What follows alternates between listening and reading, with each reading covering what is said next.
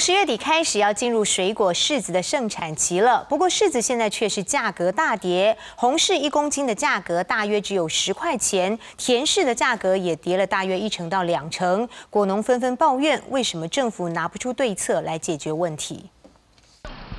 东市果菜市场的批发商摆出一箱箱的红柿和甜柿，不过今年的价格真的让果农笑不出来。柿子的部分，像今年也是滞销啊，现在也不好卖啊，一斤都已经差了五块钱。为什么今年会突然变贵了？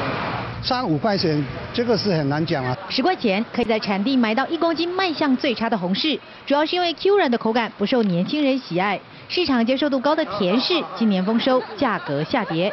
东市低海拔田柿已经上市，接下来十一月高海拔田柿盛产，价格恐怕还会降更多。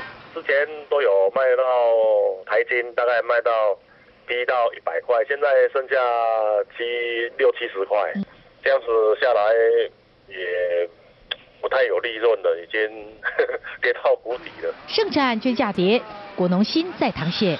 东市果菜市场秘书指出，市场反应冷淡，景气变差，造成高单价的柿子价格不理想。量比去年多个两三成啊，所以整体的价格比去年低个一一两成，应该是这个状况。就年轻的消费者啊，都好像不不大爱吃水果，所以说间接会影响。